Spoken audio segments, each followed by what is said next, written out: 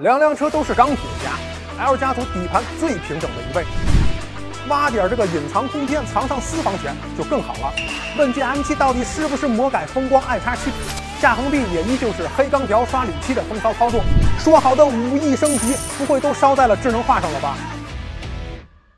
理想 Mega 铺盖之后，理想 L6 站起来了，销量势头很猛，而且还有雷布斯站台，甚至是刷卡出血力挺。买 L6 表示支持理想。那理想 L6 能不能扛起大旗呢？这不得问问拦路虎问界 M7 吗？作为新能源中大型 SUV 的销量担当，对得起一句遥遥领先。那面对拥有后发优势的理想 L6，问界 M7 还依然能打吗？呃，插播一条啊。兄弟们肯定一眼就看出来了，我们这辆 M7 它不是最新的换新版，真不是我们故意找老款，而是因为 M7 换新版确定在五月三十一号上市的时候，我们本期视频已经基本拍摄完成了，所以啊，还请各位多多体谅。至于换新版在底盘方面的升级，我们会在后面将目前获知到的消息为大家进行介绍。呃，再插一条啊，说好的叫换新版，上市之后又改叫 Ultra 了，被于总虚晃一枪，哎，先给兄弟们鞠躬了。大家好，牛仔很忙，楚少也很忙。本期视频我来和大家一起升车抄底。先给和楚少一样忙、没时间看完视频的兄弟们一条省流结论啊！从底盘综合表现来看，理想 L6 就像是一个从高端平台打造的入门产品，出身高级，减配亲民。问界 M7 更像是为性价比而生，主打走量为大，够用就好。他俩的关系就好像是凤尾和鸡头。下面咱们还是老规矩，按照油表机理的顺序，先比一比两车的蒙皮材质。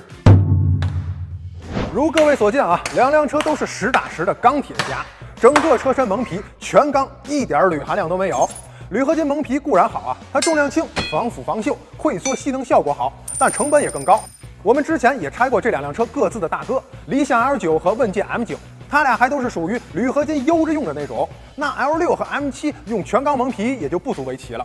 钢也有钢的好处啊，它维修成本更低，不小心磕出凹坑，不必非得出险换新，路边摊无痕修复更经济实惠。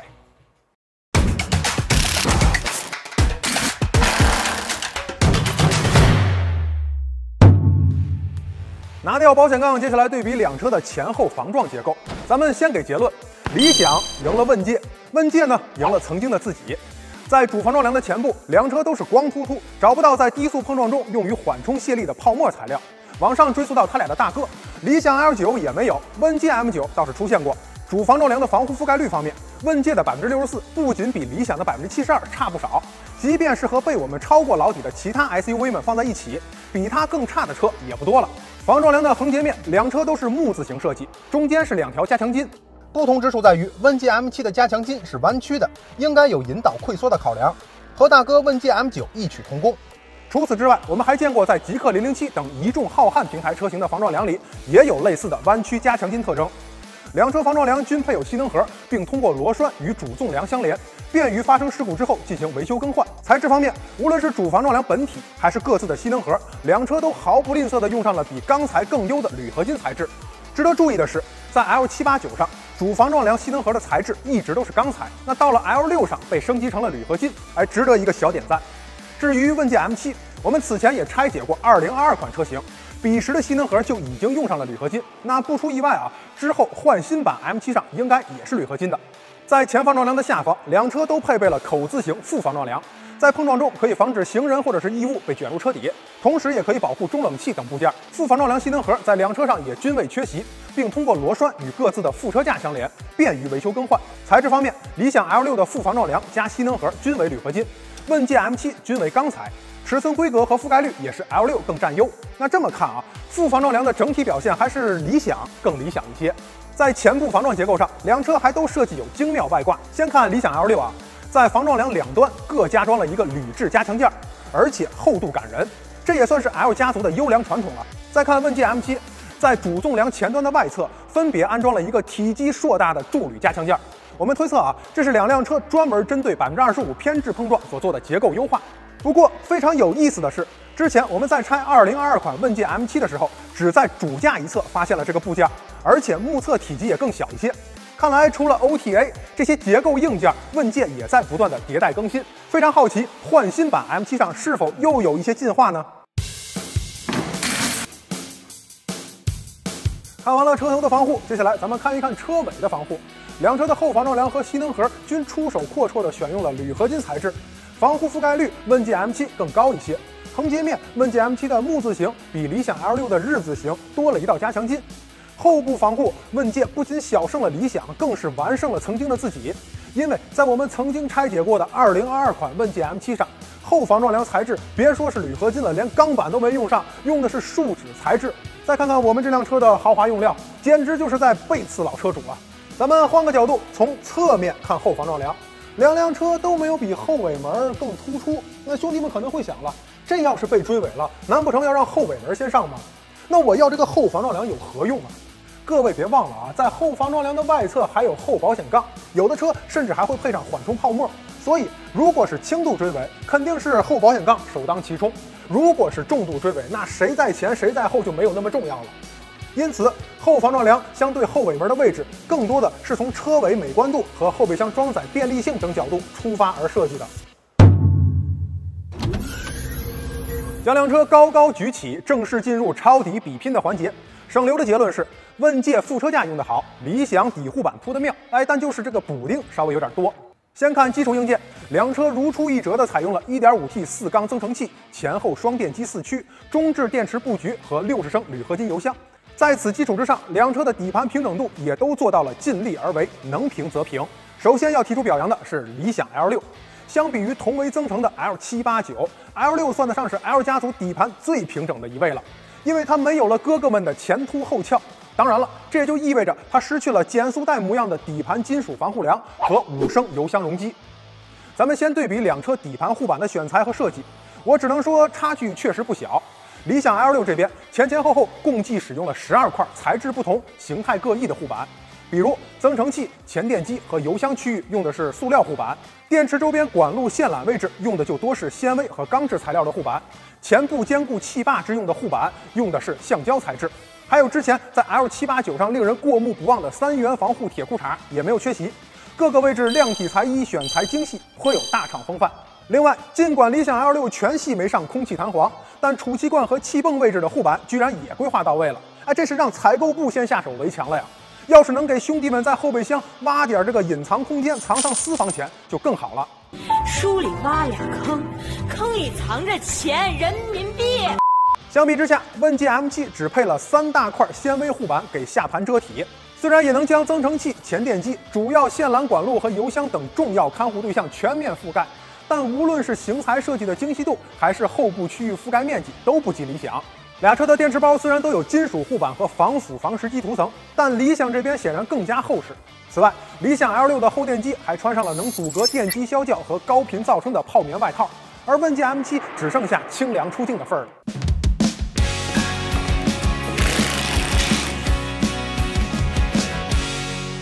拆下两车所有底护板，咱们先看副车架。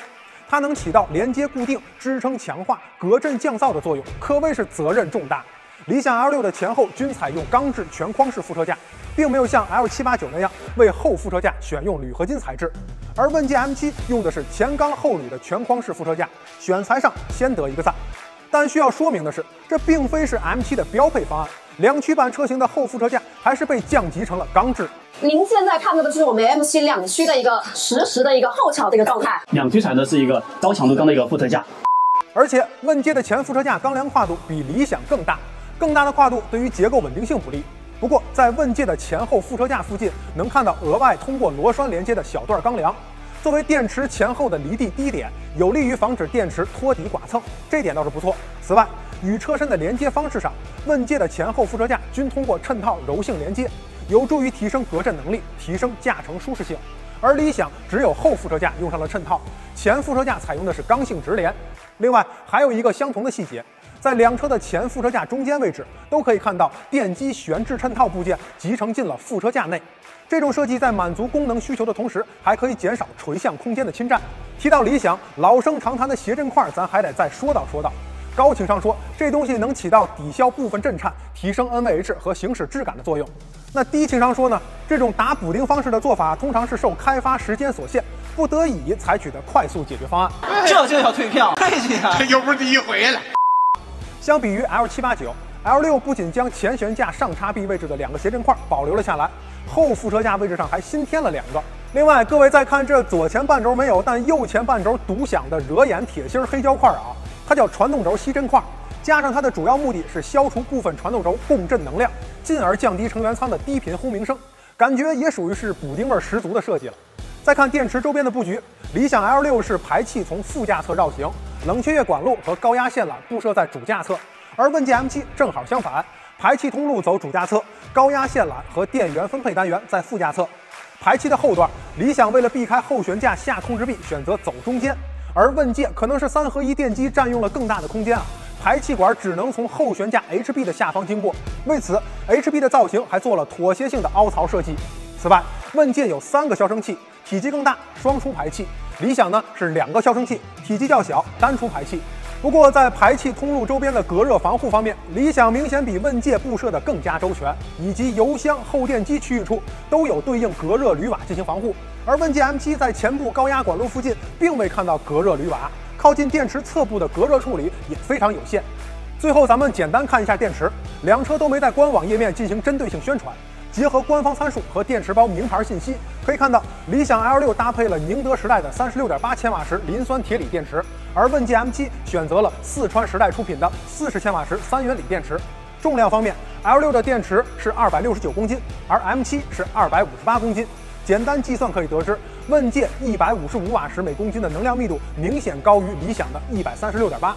至于这俩车到底谁的纯电续航更长，我们也给大伙测了。欢迎各位锁定后续上线的一车横评节目。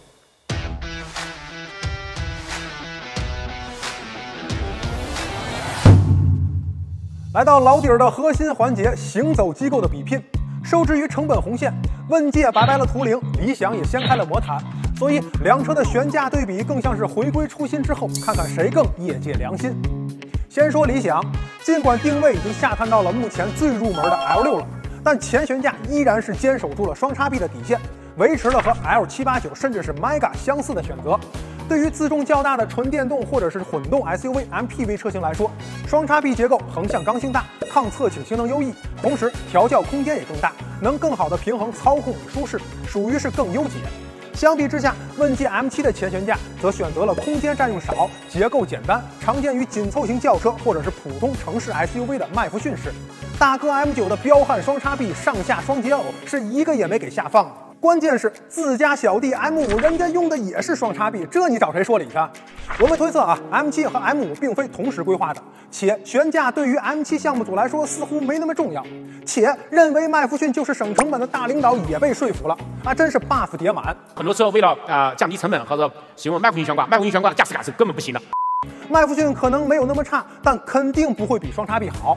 还没完，通过这个下摆臂，我们还能进一步看出问界 M7 在悬架上节衣缩食的蛛丝马迹。因为这并非量身定制的一体成型架，而是使用了一个下摆臂标准通用件，再通过三颗螺栓与球销相连。难怪总有质疑问界 M7 到底是不是魔改风光 iX7 的声音啊！总之，问界 M7 和理想 L6 的全悬架结构根本就不在同一档次上。说好的五亿升级，不会都烧在了智能化上了吧？也不知道后续有没有追加预算。反正换新版还是麦弗逊。换新版的问界 M7 已经到了啊，前麦弗逊悬挂没有变化啊。用料方面，理想 L6 也没让问界 M7 讨到便宜，上下叉臂、转向节等关键部件均为铝合金材质，只有减震器支撑叉选择了钢制部件。当然了，银漆该刷还得刷。高情商说这叫防腐防锈，颜值高；低情商说你看又是铝换钢。再看问界 M7，除了转向节用上了铝合金，其余部件均为钢制。再说后悬架，理想 L6 依然选择了与 Mega 还有 L789 相似的经典五连杆结构，分工明确，精细管理，舒适运动，可盐可甜。其中下横臂用来支撑弹簧减震器并承担侧向力，下斜臂用来承担纵向力和部分侧向力，而两根上臂组合实现上摆臂功能，四根连杆协同上阵，实现对车轮外倾的控制。最后一根是用于修正车轮前束的拉杆。材质上除了铝合金转向节，其余都是钢件。下横臂也依旧是黑钢条刷铝漆的风骚操作。再看问界 M7 后悬架，终究算是继承了 M9 的些许神韵，硕大的铝合金 HB 键盘值颇高。当然，官方也叫它多连杆独立悬架，只是不同于传统的多根连杆协作，粗壮的 H 型下摆臂独自承担了车辆行驶中的侧向力、纵向力和刹车时俯仰方向的力矩，典型的一人分饰多角。好处是省了对车内空间的侵占，缺点是调教难度更大。材质方面，上臂和前束拉杆为钢制件，而 H B 和转向节均为铝合金。虽然两车都没用上谈资更多的空气弹簧，但好在减震器并没有素颜出镜啊。两车都选择了可变阻尼减震器，理想 L6 上叫 CDC，问界 M7 上叫 FSD。差别在于 CDC 是主动的调节阻力值，而 FSD 则是被动调节。当然，问界应该意识到了差距，换新版 M7 也会从 FSD 升级到 CDC。最后对比一下两车的横向稳定杆，首先稳定杆和吊杆的材质均为钢制，但前后都是问界 M7 的更粗。安装位置方面，理想 L6 的前后横向稳定杆分别安装在了减震器支撑叉和转向节上，问界 M7 则分别安装在了减震器和 HB 上。抄底的最后，咱们看看两车的制动系统硬件还有轮胎的情况。两车的前后均为通风盘，但问界 M7 玩了一点小花活，它的盘面上设计有反涡扇的结构，这应该是有助于散热效率的提升。盘面直径，问界 M7 选择前大后小，理想 L6 选择前后相同。另外还有一处细节值得一提，可以看到啊，问界 M7 制动盘的这个位置已经出现了锈迹。同样的情况在我们之前拆解过的问界 M9 上也有出现，应该是没有喷涂相应的涂层导致的。虽然不影响正常使用，但确实观感欠佳。至于理想 L6，应该是专门喷过涂层了。卡钳规格上，两车保持了一致，均为前双活塞、后单活塞浮动卡钳。轮胎方面，两车都选用了倍耐力 P Zero Elect 高精尖系列，尺寸规格也都是标配二十英寸，选配二十一英寸。而我们租的这两辆车，问界是标配，理想是选配，因此 L6 不仅轮子更大一些，胎宽也更宽一些。另外，提前给大家剧透一下两车在一车横屏节目中的制动测试成绩。理想 L6 的最短制动距离小胜一筹，问界 M7 的六次平均制动距离成绩更佳。最后再看一下轮拱内衬，两车使用的都是纤维材质，并在衬板内侧贴有隔音棉，提升车内静谧性。此外，问界 M7 的前轮轮拱还设计有通风孔，用来梳理前轮外侧的气流，相当于是给两个前轮用上了封闭式轮圈，有助于降低风阻，提升续航。